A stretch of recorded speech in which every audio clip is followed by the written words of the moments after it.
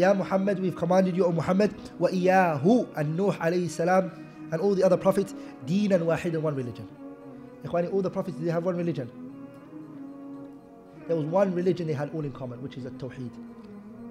Allah subhanahu wa ta'ala says in the Quran to the Prophet sallallahu alayhi wa sallam, وما أرسلنا من قبلك من رج... وما أرسلنا من قبلك من رسول إلا نوحي إليه أنه لا إله إلا أنا فاعبدون Every prophet before you, Muhammad and you, they were sent this same message. La ilaha illallah. Call to that.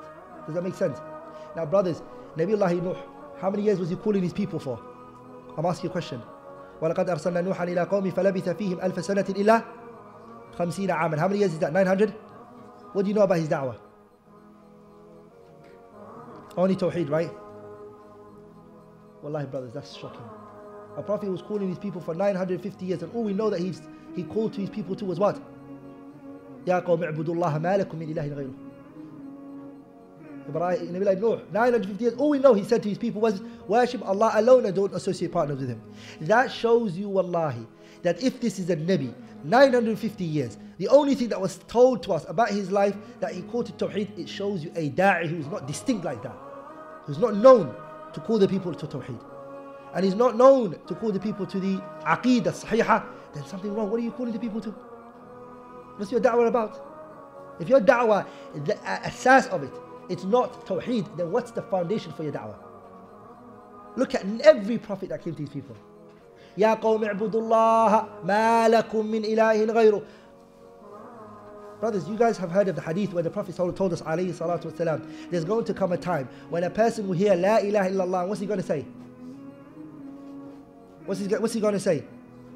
A person's going to hear La ilaha illallah and he's going to say, Oh, I heard my forefathers say this. When will this happen, brothers? When the scholars stop talking about La, la ilaha illallah.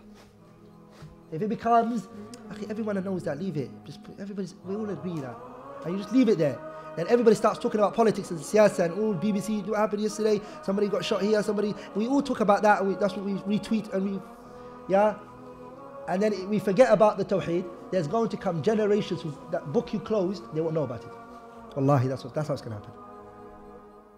So this should always be mentioned in manabir khutbatul jum'ah. Every opportunity a person get. Prophet sallallahu alaihi wasallam is telling it to Nabi Abdullah ibn Abbas, Ya ghulam, inni u'allimuka kalimat, ihfad Allah yahfadka. احفظ الله تجده تجاك إذا سألت فاسأل الله Don't ask anyone else Ibn Abbas He's a little kid You know how old Ibn Abbas was when the Prophet died? 13 13 when the Prophet died So he must be younger than 13 at that time Are you with me brothers? So the da'i, the person who's giving da'wah to the people, he needs to be distinct, he needs to be known for what? If you look at today, the problem that we're having in this community and society, wallahi, the asl for it is aqidah. Bad tawheed. I'll tell you that right now. صح هربوا من الرق الذي خلقوا له فبلوا برق النفس والشيطان people are slaves for their nafs and shaitan isn't that servitude for other than Allah isn't that aqidah you need to teach them أفرأيت من اتخذ إلهه هواه his ilah is his hawa he worships his own whims and desires. His whims and desires tells him to go right. He goes okay I'm going to go right. Allah tells him says like you know it's 21st century. Brothers anyone who tells you within the Muslim community there's the, the aqidah is strong and mashallah there's no need to talk about this topic all the time is a person who does not know the reality of the Muslims. صح Look what Allah says in the Quran. وعد الله الذين آمنوا وعملوا الصالحات منكم وعد الله الذين آمنوا وعملوا الصالحات منكم ليستخلفنهم في الأرض كما استخلف الذين من قبلهم وليمكنن لهم دينهم الذي ارتضى لهم وليبدلنهم من بعد خوفهم أمنا يعبدونني لا يشركون بي شيئا. I will give you victory. I will give you istikhlaf. I will make you guys governors on this earth. I'll make you leaders on this earth. But I just want, I need something from you. What is it? يعبدونني واشني alone. لا تشركون بي شيئا. Don't associate partners with me. إلا تنصروه فقد نصره الله. الله سبحانه وتعالى سيزن لنا الآية.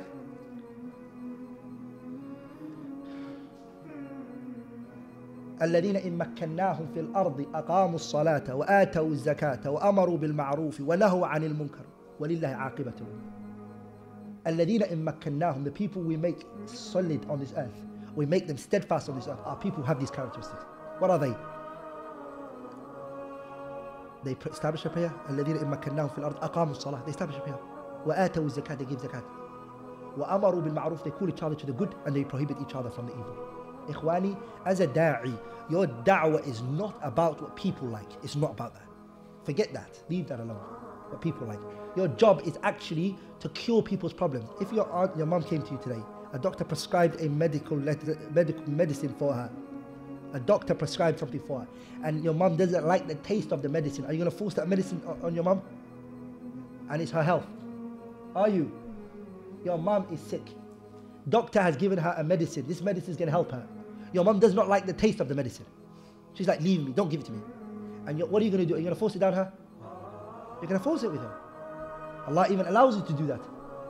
That's why Allah says, وَقَضَى رَبُّكَ أَلَّا تَعْبُدُوا إِلَّا إِيَّاهُ وَبِالْوَالِدَيْنِ إِحْسَانًا إِمَّا يَبْلُغَنَّ عِندَكَ الْكِبَرَ أَحَدُهُمَا أَوْ كِلَاهُمَا فَلَا تَقُل لَّهُمَا أُفٍّ وَلَا تَنْهَرْهُمَا وَقُل لَّهُمَا قَوْلًا كَرِيمًا واخفض لهما جناح الذل من الرحمة وقل رب ارحمهما كما ربياني صغيرا ربكم أعلم بما في نفوسكم That if you sometimes go against your parents, Allah knows what's in your heart.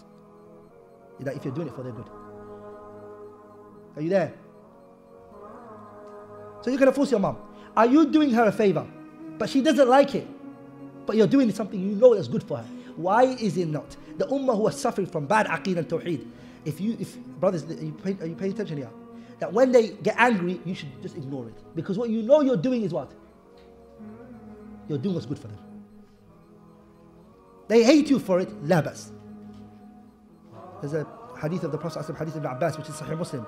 يأتي نبي وليس معه أحد. A prophet is going to come and there's nobody with him. That's your job is not who follows you. Your job is إنما عليك البلاغ. لست عليهم بمسيطر. Your job is not to place uh, the haqq in the people's hearts. You convey the message. Don't deceive them.